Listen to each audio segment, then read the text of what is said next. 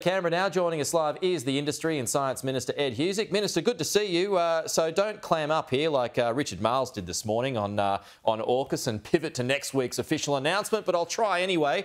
Peter Malinauskas still seeking assurance. Uh, the ironclad commitment is still there that the subs will be built in Australia. Can you give that assurance? Uh, you know, you, you wanted me to uh, open up, and I, I would love to make a whole series of career limiting moves and give you details ain't happening. Uh, I think uh, the PM has flagged, as you have broadcast here on Sky News, that uh, a lot more of these details will uh, become clearer uh, next week. But what is obvious here is uh, any government's got to take national security and defence very seriously. It's the starting threshold issue that needs to be dealt with. We recognise that defence capability isn't just about the here and now, it's about what we need longer term, taking into account what's happening in the world today. I, I heard the comments from Arthur Sinodinos, who's done an important job for the nation as our ambassador there in Washington. And Arthur Sinodinos made the point this is uh, about being able to signal the seriousness of the country to maintain its, its defence and have some offence capability. And uh, given that the deal struck by another government, we now have stewardship for, we take very seriously and working with partners like the US and the UK to deliver that type of technology, but also to the heart of your question around uh, industry capability onshore is something I think a lot about. There's an expectation clearly that we've got a lot of great talent, a lot of great firms that can contribute, and we want to make sure that they get a slice of the action. And again, this will uh, more of this will be discussed in the coming weeks. Okay. The National Reconstruction Fund hangs in the balance and runs the risk of being blocked. Have you got the votes that you need, Ed? I'm not in a position to say that. Uh, if I can be absolutely open and direct with you, uh, obviously uh, we secured a major milestone yesterday, getting our $15 billion National Reconstruction Fund supported by the House of Representatives. A lot of people in the House of Representatives get this is a massive investment in manufacturing capabilities for this country. It's a moment of nation building.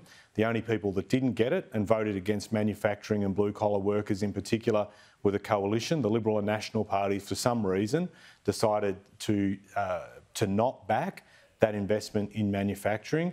We take it now to the Senate. We've got to work through a crossbench. Clearly, with the Greens on board, it makes our job a lot easier. But I don't take the view that we just get the bare minimum of numbers and then dust the hands and move on. As I said, this is nation building. This is about ensuring that we get up off the mat. We've got some of the worst manufacturing self-sufficiency stats in the OECD, Pete.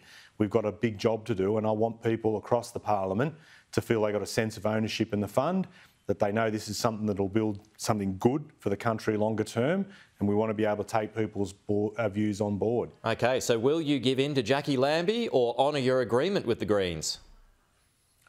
Uh, I, I, have to say, you know, if we've made a deal, my view is you honour the deal. Uh, you can't go and chop and change. And uh, with respect to, to, Jacqui and to, to, uh, to Tammy, if I may say, uh, I get where they're coming from, but to give them the assurance Similar to what I said to the Greens, I'm utterly consistent.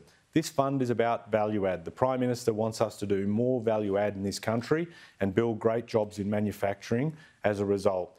Uh, our intent is not to fund uh, through a manufacturing fund the extraction of coal or its transmission or logging of forest. Like that's not what this fund does. This is about value add. And so for us, uh, we, we've been absolutely consistent on that. If the Greens needed that assurance in writing, we were prepared to, to give it, but it doesn't mean the end of logging. If states and territories allow that to occur, that will still continue.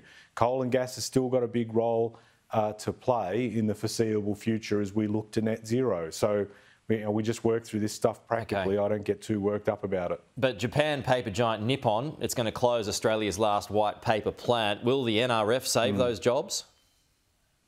Uh, it, it, depends on what Nippon puts forward. If they've got a new process to, to do what they do in terms of manufacturing, uh, then obviously when the NRF gets stood up and is up and running, uh, they can come forward with a, a, business plan about what they want to do. And we want to co-invest with industry, with superannuation and, and other players to make that pool of capital available so people can stay, and particularly Australians, Pete, you've heard the stories from time to time where firms leave our country because they felt like they didn't have the support they needed from investors to turn something into reality, but they've been able to get it from other investors offshore or even other governments.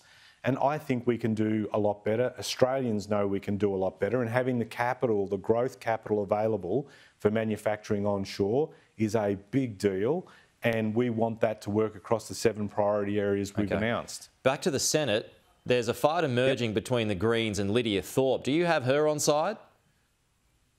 Uh, Again, we're working through with the uh, with the individual crossbenchers. They will make their announcements on their position. I will not make them for them, but I remain committed to working with people, taking on board views. We're not going to agree with everything, but they can rest assured that one, we're here to listen, here to work with people where we can, and if we make a deal, we honour deals. So, how many chats have you had with her?